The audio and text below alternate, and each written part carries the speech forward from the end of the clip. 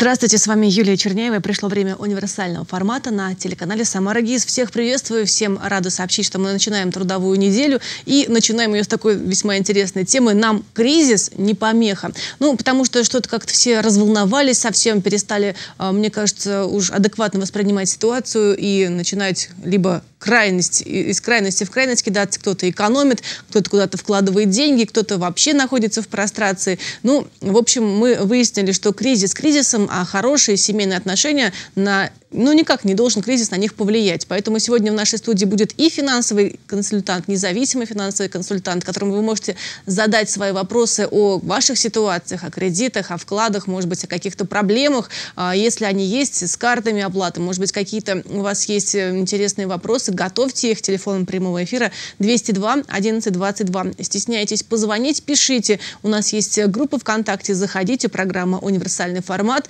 А, там можно задавать также свои вопросы вопросы. Ну и, конечно, у меня тоже будут вопросы к вам, потому что без розыгрыша мы вас не оставим. И призы приготовили сегодня для вас от киноцентра «Вертикаль». Киновертикаль приглашает вас посетить 22 января удивительный концерт легендарной группы Queen.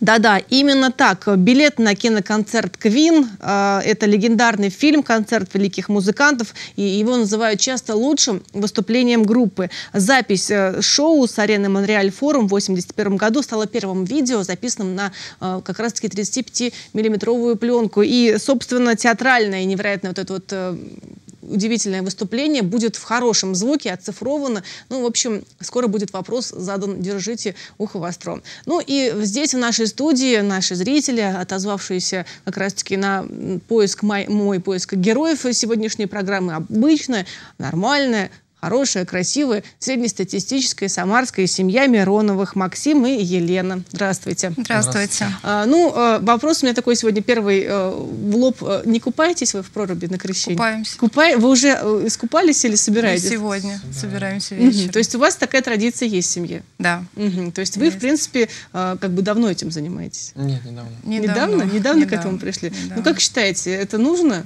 Это полезно. Полезно. Вы все полезно. купаться пойдете? Все. С друзьями? С друзьями. Сколько обычно человек у вас собирается? Ну, человек по 50. Серьезно? С ума сойти. Вот, друзья, берите пример. Но ну, э, тема сегодняшней нашей программы «Нам кризис не помеха». А мы говорим о том, что ни в коем случае нельзя рушить свой союз, свою семью из-за того, что, ну, бывает, возникают какие-то проблемы. Увольнение с работы, сокращение зарплаты или что-то еще. Вот э, хочется спросить, жизнь, так скажем, до кризиса и жизнь во время кризиса как-то у вас э, поменялась, Максим? Ну, мы кризис не ощущаем так, поскольку так, как его и, вроде бы и нету. Но в основном живем, как все обычные люди, наверное. Ну, есть такая уже вот, не знаю, пунктик такой, ага, мы вот это вот туда не идем, туда не идем, на этом экономим, на этом экономим. Нет, по-моему, нет такого. Ну, мужья не всегда все замечают. Лена, рассказывайте, как вот до и после, как говорится.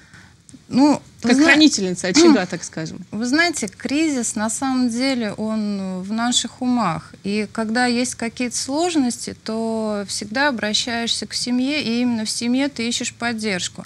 И какие бы трудности не были на работе, либо там где-то еще, если есть крепкий семейный тыл, то эти трудности, они решаются довольно-таки очень быстро и безболезненно.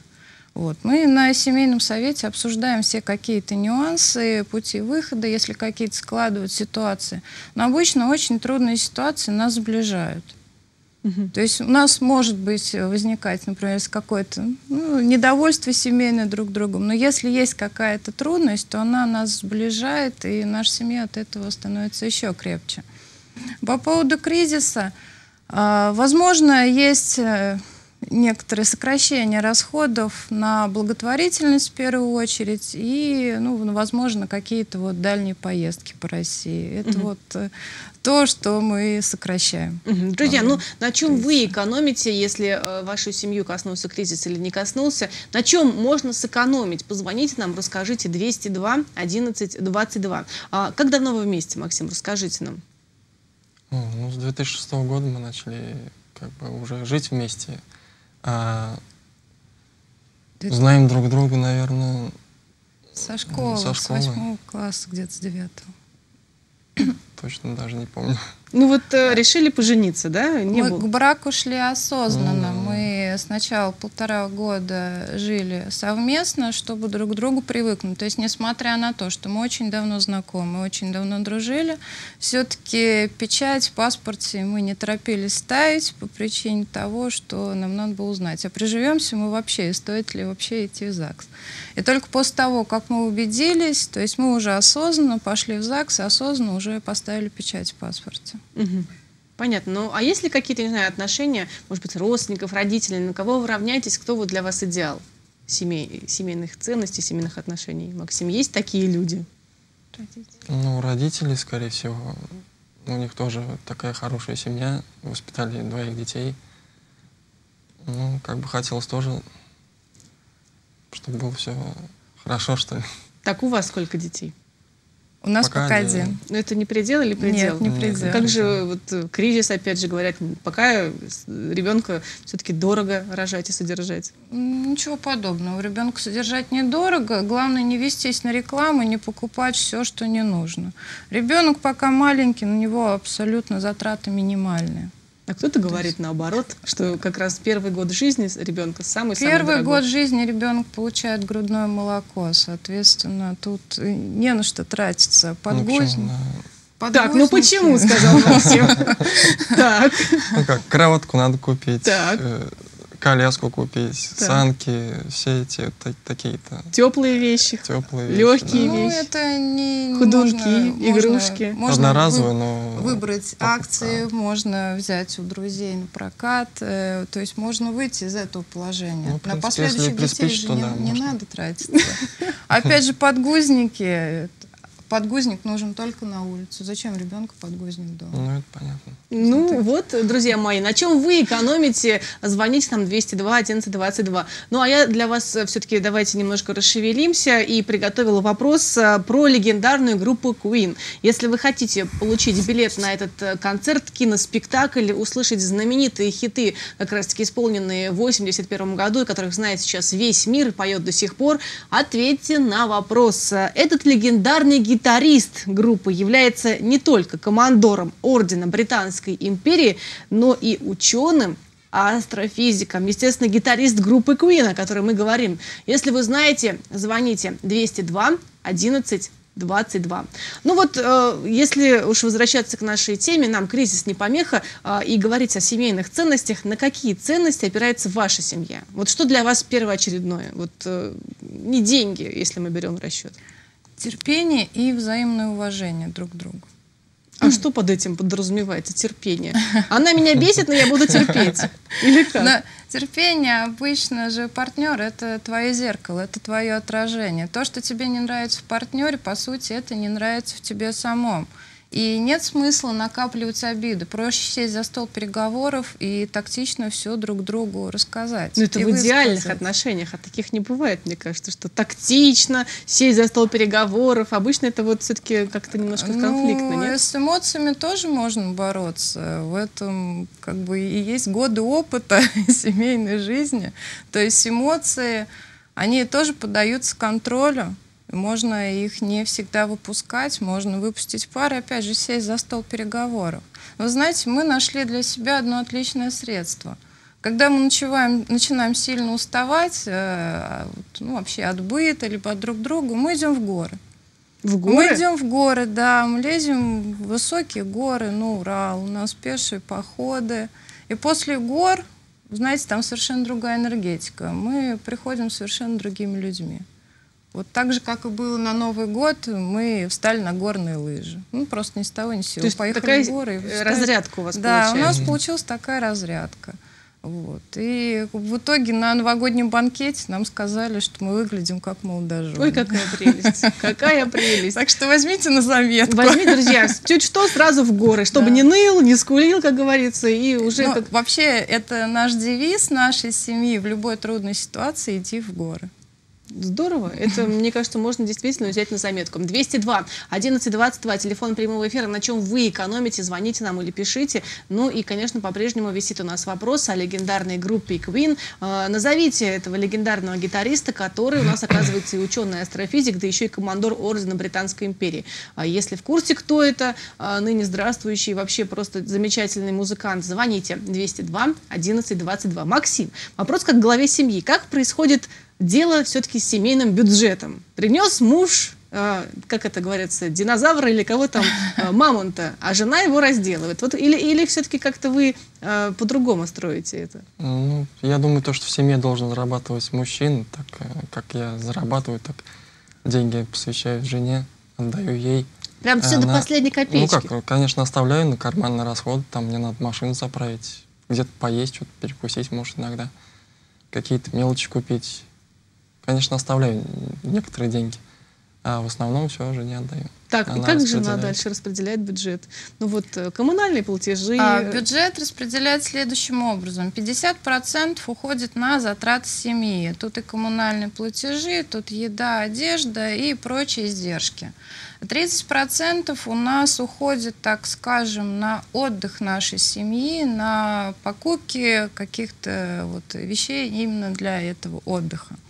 Ну, то есть сюда же и включается и походы с ребенком, то есть всякие спортивные залы, бассейны и так далее, и так далее.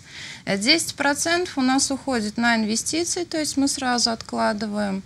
И 10% уходит на благотворительность и обучение, то есть на какие-то курсы, семинары и э, фонд помощи, например, тем же детям. Мгм. А, инвестиции, у меня вопрос интересует. То есть вы, получается, еще и откладывать что-то? Да, Это- это, обязательно. Это, вот у обяза- многих не получается на самом деле. Ну, во-первых, чтобы откладывать, просто надо учитывать свои расходы. Нужно вести дневник своих расходов. И когда вы будете выписывать все свои расходы, вы будете точно видеть... Вы будете э, с ума сходить от того, на а, что вы тратите деньги вообще. Вот, э, но когда вы ведете дневник расходов, вы можете посмотреть, ага, а вот это-то вот мне не надо. И если вы откроете свой шкаф, вы увидите, например, много вещей, которые вы купили и забыли про них. Либо вы раз их одели, а зачем? Вот если все это копить, копить, копить, то у вас накопится приличная сумма денег, которые вы можете потратить, например, на те же поездки, мгм. на свой отдых. На свой отдых. э, Да. И, в принципе, а, как-то можно даже еще и вот обучаться, и, чему-то там, не знаю, учиться, и даже вкладывать э, Да. в здоровье других людей, детей, благотворительностью заниматься. 202 1122, телефон прямого эфира. Звоните нам, не стесняйтесь, задавайте свои вопросы, отвечайте на наши. Алло, здравствуйте, как вас зовут? Данила. Данила. Данила, скажи, пожалуйста, есть ли сейчас рядом с тобой взрослые люди? Есть. Ну, а, у меня такой к тебе вопрос. Как ты думаешь, вот на чем нужно экономить, вот, например, семье? Раз ты у нас такой сегодня юный зритель. Меня это не касается пока. Пока, ну ты сам-то вот чувствуешь, что, например, надо, может быть, поменьше конфет, сладостей, игрушек просить?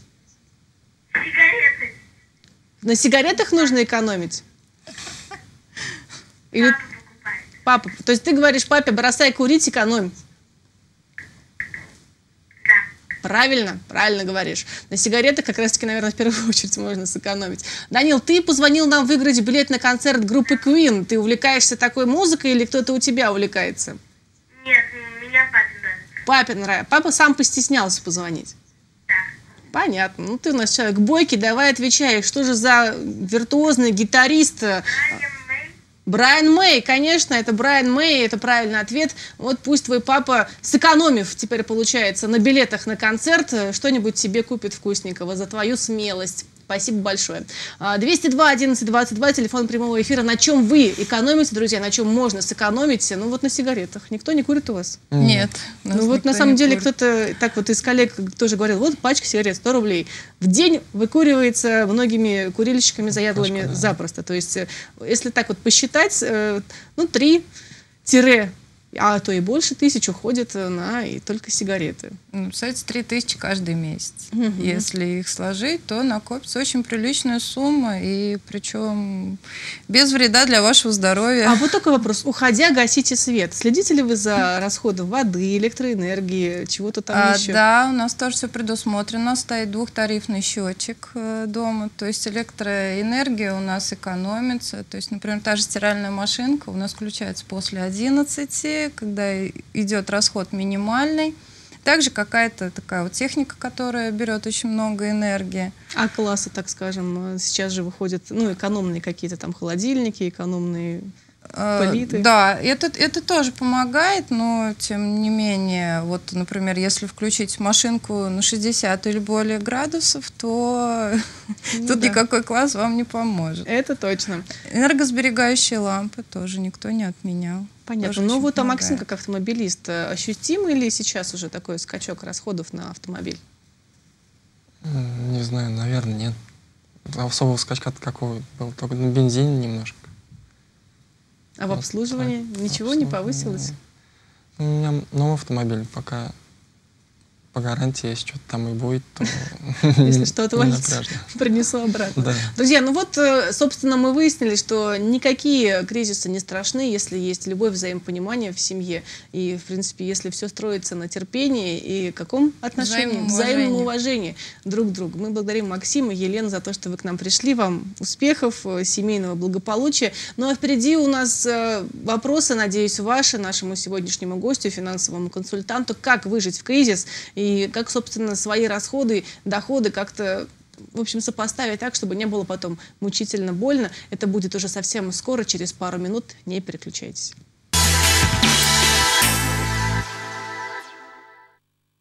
Лично я не купаюсь, но те, кто купаются, я считаю, что они молодцы. В последнее время нет, а лет 10 назад купалась. Раза два, наверное, два, два года я купалась.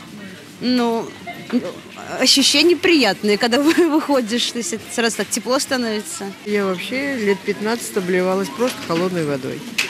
Просто обливалась. Прорубь бегать было некогда. Но всегда обливалась. Так что это приятное ощущение. Это комфорт. Да, конечно. Хожу, потому что это мне придает сил, как моральных, так и физических, думаю, на ближайшие половину года. Я отношусь очень хорошо к этому. Я уважаю людей, которые купаются на крещении, но я сама не хожу. Я боюсь заболеть. Вот у меня организм очень слабый. Вот. А так люди очень хорошо делают. Я думаю, это полезно очень. И вот сколько моих знакомых не ходит, все, никто не болеет. Все себя очень хорошо чувствуют и все здоровые. Я к этому отнош- отношусь положительно, но так как я очень редко, в принципе, поэтому мне непривычно просто сразу схватывает дыхание и как бы не совсем комфортно и не совсем то удовольствие получаю, которое получают люди, которые каждый год и, каждый, может быть, даже каждый день этим занимаются. В прорубь не хожу, потому что, чтобы ходить в прорубь, надо здоровье иметь. Начинать надо с молоду, когда еще здоровье есть, а сейчас это в прорубь, это очень опасно. Обязательно. И в молодости ходила. А потому что как только искупаешься э, в проруби, второе, вторая жизнь начинается, молодая. Нет, не хожу. Ну, Я так моюсь с холодной водой дома. Я считаю, что кто закаленные могут, конечно, купаться. Но это надо предварительно закалку иметь. Так просто не нырнешь, я думаю. Ну что, друзья, телефон прямого эфира, еще раз напомню, 202 1122. Нам кризис не помеха, так звучит тема нашего сегодняшнего эфира. Задавайте свои вопросы нам по телефону, ну и, или, собственно, можно в нашей группе ВКонтакте это сделать. Обещала я вам нашего гостя, следующего финансового консультанта. С большим удовольствием представляю. Здесь с нами в студии Роман Цуприк. Здравствуйте. Добрый день. Не купайтесь в проруби? Нет, не Ни купаюсь. разу не, не, не было Только такого? обливаюсь. Только обливаете, то Да. есть закаляетесь. Да, это проще. Это проще. Ну, а раз И у нас а, сегодня такая вот тема, кризис, э, нам кризис не помеха. А есть ли вообще в стране-то кризис? Или все-таки это надумано, как наша гостья Елена сказала? Как вот вы как оцениваете как специалист? Кризисные явления, конечно, есть. Где-то они нарастают, где-то нет такого явного движения. Если вспомнить 2000-е годы, знаете, до, вплоть до начала 2008 да, и с момента кризиса 98-го, люди, знакомые и незнакомые, обращаясь ко мне, часто спрашивали, а правда, что скоро снова дефолт? И снова Это бахнет, было как самое страшное да? слово, хотя никто толком не понимал, что это, собственно, за дефолт. Но все знали, что это плохо, это кризис. Вот, в 2008 году наступил очередной, и когда тоже первые самые какие тяжелые э, дни и кризисные явления были преодолены, люди стали ждать вторую волну этого кризиса. Это стало новое кодовое слово. Скоро вторая волна. 2009, 2010, 2011, 2012 годы, собственно, все шли в ожидании вот, новой волны, новых потерь на финансовом рынке, на рынке труда. Ну, можно сказать, что сейчас, да, в чем ситуация реализовалась, снова происходит э, резкие движения валютных курсов, неблагоприятные для рубля. Ну и бабушки говорят, что все дорожает. Да, И не только идет бабушки. инфляция, заметная продуктовая, но опять же для каждого она заметна в разной степени. Если у вас на продукты только уходит половина вашего семейного бюджета, конечно, для вас будет заметное удорожание там, ну, в среднем на 10, 15, 20 процентов по разным группам товаров. Вот. Но если посмотреть на тот же рынок труда, нет каких-то массовых сокращений, нет массовых разорений предприятий, как это было в 1998 году.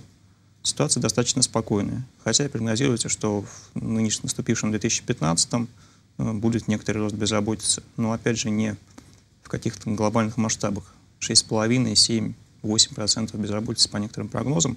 В общем-то, это гораздо меньше, чем во многих европейских странах. И это нормальный размер свободной рабочей силы, который позволяет э, открывать новые предприятия Мгм. в том числе. Ну вот вам помогает э, знание финансовых каких-то документов, фактов, там, ну, нормативных каких-то еще вещей вот в жизни? Вот вы финансовый э, консультант, работаете экспертом и так далее. В жизни это помогает как-то? Ну, знаете, да, когда люди видят, например, скачки валютных курсов и бросаются в обменники скупать валюту, я понимаю, что на самом деле нет необходимости никуда бежать. Есть давно разработанные инструменты, инструменты, относящиеся, относящиеся к биржевой торговле. Это фьючерсные контракты на валюту, опционы. Инструменты эти доступны в том числе для рядового любого гражданина нашей страны, который хоть немножко понимает, что это такое, и хочет себя обезопасить от тех же там, рисков изменения валютных курсов неблагоприятных. У нас тут вопрос как раз-таки догонку. Выгодно ли в евро свои счета переводить? Какие вклады деньги не увеличат, а хотя бы сохранят? Ну, если речь идет о сбережениях а, личных, да, о сбережениях граждан, э, я считаю благоразумным совет, который, в общем-то, чаще всего дается в таком случае, хранить э, сбережения в разных валютах. Ну, основные, наиболее популярные для этого валюты – рубли, доллары и евро. Многое зависит от того, насколько ваши доходы и расходы привязаны к определенной валюте. Ну, у большинства наших граждан и то, и другое в основном в рублях. Да?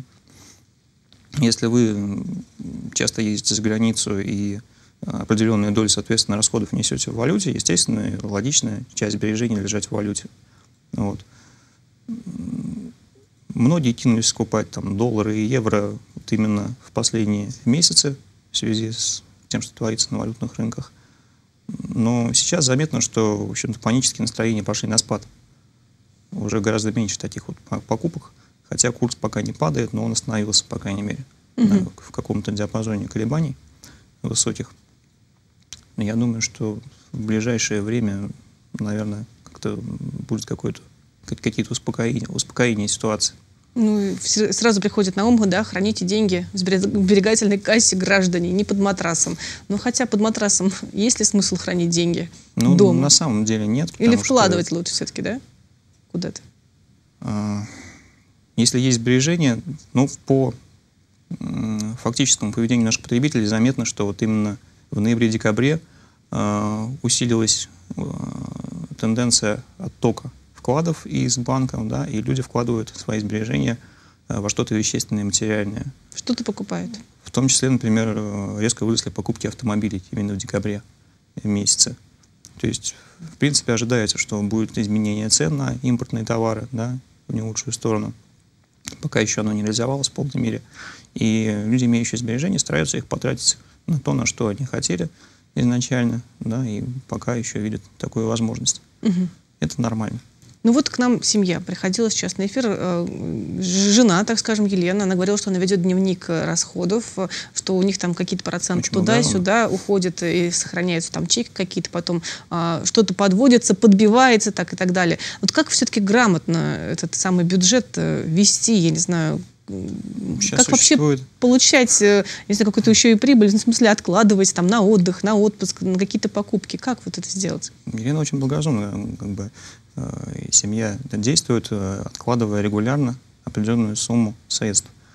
А, Чисто для учета своих расходов, э, для ведения самого бюджета семейного, да, существует сейчас достаточно большое множество программ, бесплатных в том числе, да и на бумаге это делать не так уж сложно, да. Ну или приложение для нашей техники тоже там. банальный Excel, который есть в каждом компьютере, вполне удобен. Я сам им пользуюсь всю свою жизнь. И больше, большего мне, например, не требуется для составления семейного бюджета. Вот. А, Та доля доходов, которая удается откладывать, а, сберегать регулярно, ну, я уже сказал, э, можно использовать инструменты депозитов обычных, да, и варьировать валюты, в которые вкладываются деньги, в зависимости от своих потребностей в будущем. Э, Но существуют и инструменты фондового рынка, ценные бумаги. Э, Сейчас нам доступны уже не только российские ценные бумаги, но даже находясь в России, на российских биржах мы уже можем покупать и бумаги иностранных Ну, я, если честно, с большим трудом сейчас представляю какую среднестатистическую семью, там, я не знаю, обычную, а, среднего возраста, покупающую ценные бумаги. И это вот как-то для нашего... Не обязательно делать это самостоятельно. Есть э, специализированные инвестиционные компании, да, которые а, оказывают услуги доверительного управления, организуют инвестиционные фонды, паевые фонды. Можно купить просто пай этого фонда, который будет уже управлять вашими деньгами. Вот. Ну, на самом деле интерес к этому рынку, он проявляется в том числе и в такие вот кризисные моменты, как сейчас. Именно за последние месяцы та же московская биржа ощутила значительный приток э, новых клиентов физических лиц, которые заинтересованы вот именно управлением э, и торговлей валютными инструментами. Собственно, физлицо может покупать непосредственно валюту не только в банке, в обменном пункте, но и на бирже. Ну, на самом деле, вот хочется более, наверное, простого языка для наших зрителей, потому что все-таки потребители, они обычные люди, среднестатистические, и нас э, таковые смотрят и в интернете, и в режиме реального времени. Друзья, если у вас есть какие-то вопросы, звоните 202 11 22. А всех вот все-таки интересует вопрос э, с кредитами, да, они есть у всех, практически нет такого человека уже, может быть, там один-два на 100 э, единиц э, людей, э, вот, у которых нет кредитов. Кредиты есть у всех, и у всех сейчас возникают вопросы с погашением этих кредитов. Люди берут один кредит, чтобы погасить другой кредит, открывают карты известных банков или там неизвестных банков. Вот а, как э, не попасть вот в эту ловушку, я не знаю, не засосало это болото кредитное. Вот что посоветуете, если у человека есть уже кредит какой-то, нет возможности за него регулярно платить, например, а, а банки звонят, угрожают и требуют. Ну, в любом случае нельзя от банка прятаться, конечно. Отключать мобильный телефон – это последнее дело. Нужно идти на контакт, объяснять текущую ситуацию, в связи с чем она сложилась, какие перспективы восстановления доходов у человека есть, и договариваться с банком о реструктуризации, да, о продлении сроков платежей, об отсрочке платежей. В принципе, банки чаще всего идут на э, какое-то соглашение с клиентом, потому что им просто невыгодно наращивать просрочку. Для банка это дополнительные резервы и потеря прибыли. Действительно, сейчас есть доля клиентов банков, которые оказались в такой ситуации. Э, До недавнего времени банки соревновались между собой в предложениях по перекредитованию кредитов других банков. Э, Человеку предлагали перекреди- перекредитоваться, скажем, на сумму аналогичную погашаемому кредиту в другом банке или чуть большую, чтобы ему еще что-то осталось на руках, чтобы можно было дополнительно потратить. Сейчас, конечно, с декабря значительно выросли ставки и по депозитам, и по кредитам, поэтому такая перекредитация, ну, маловероятно, она будет просто невыгодна самому заемщику. То есть перекредитоваться заново по ставке вдвое больше, чем у него была, это не очень логично, да.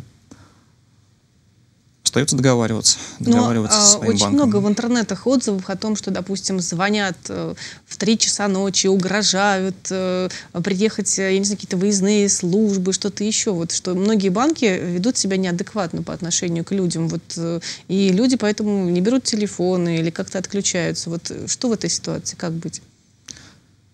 Если банк не идет на уступки ни на какие, да, у него э, тоже есть разные варианты действия. Банк может продать кредит коллектору, да, тогда действительно будет немножко другой стиль разговора с клиентом. Э, банк может пойти в суд. Собственно, если банк не идет на договоренность, ну, действительно остается решать вопрос по суду.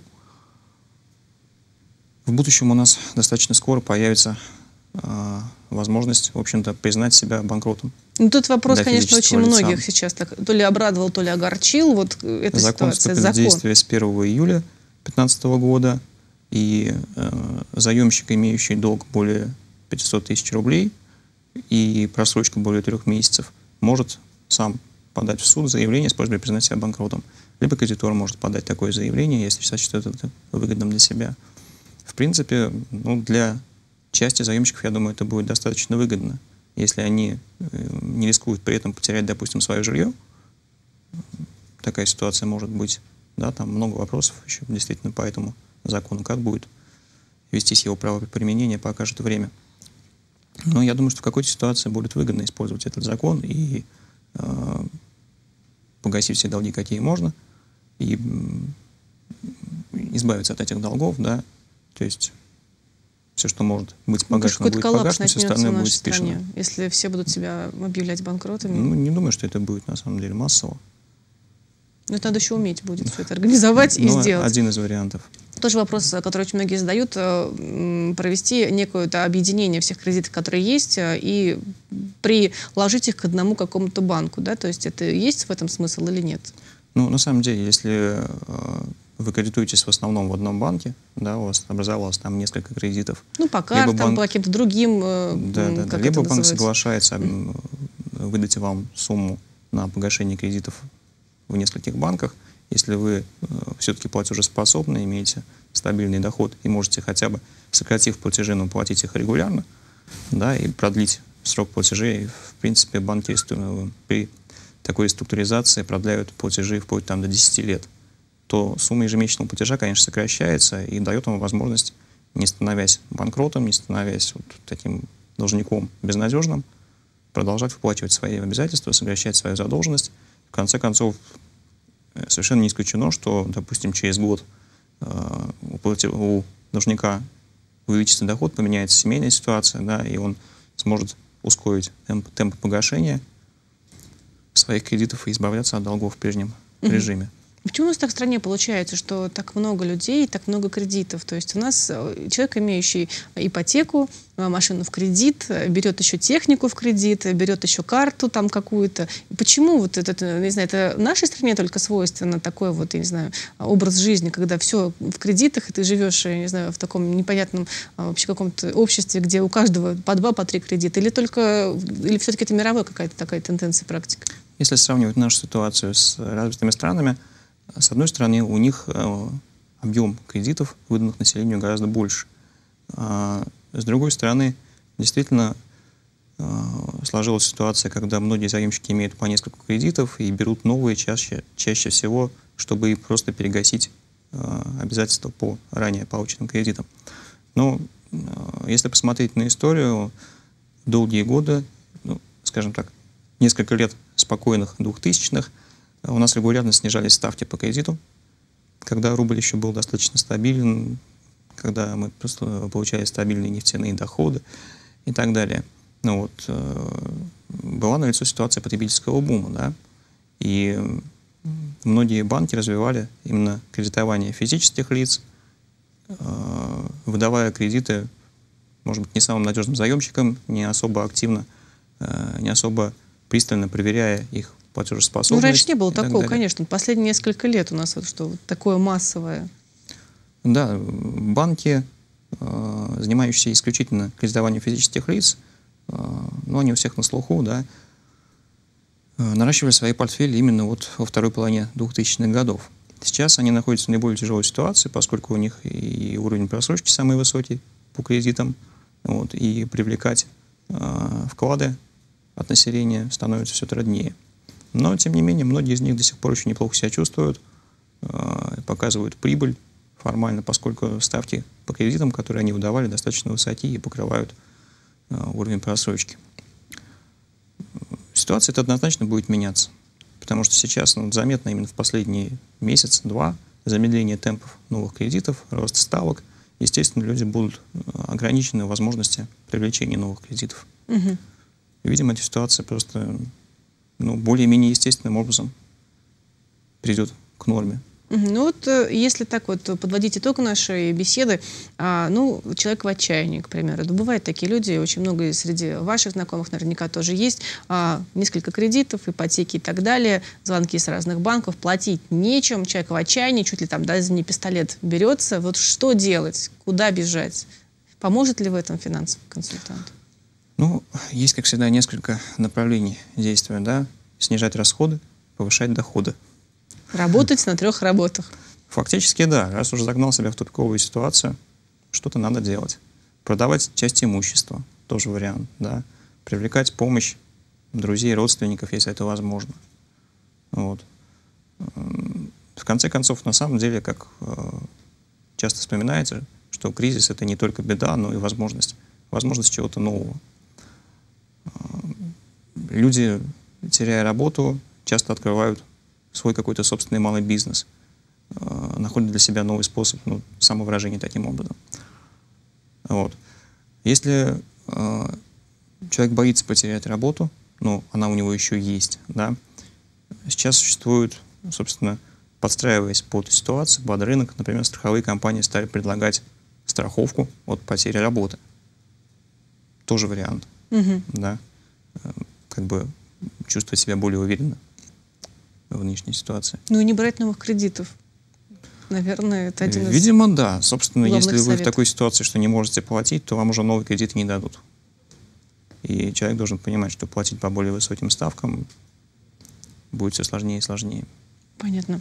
Друзья, ну если вдруг у вас все-таки будут какие-то вопросы еще потом и после эфира, то обязательно мы дадим а, ссылку на нашего сегодняшнего гостя у нас в группе ВКонтакте. Ищите его, общайтесь. Может быть, именно Роман поможет в вашей сложной ситуации. И я думаю, что не все так грустно. Мы как-то так вот сидим тут Не всё и не и у всех, думаем, конечно. что какой кошмар у нас в стране. На самом деле, друзья, давайте любить, уважать друг- друг друга и как-то, не знаю, стремиться к тому, чтобы если вдруг друг у вас просит денег взаймы, ну дайте, мало ли какая у человека ситуация. Ну, каждый может оказаться в любом вообще моменте, и у каждого может быть случиться какой-то кризис. Роман, спасибо большое вам, что пришли. Спасибо А, Всем Юлия. вам, друзья, желаю хорошего настроения, добрых положительных эмоций. Сегодня праздник, всех с крещением. Ну и, конечно же, здоровья и благополучия вам и вашим семьям. Нам кризис не помеха. До встречи.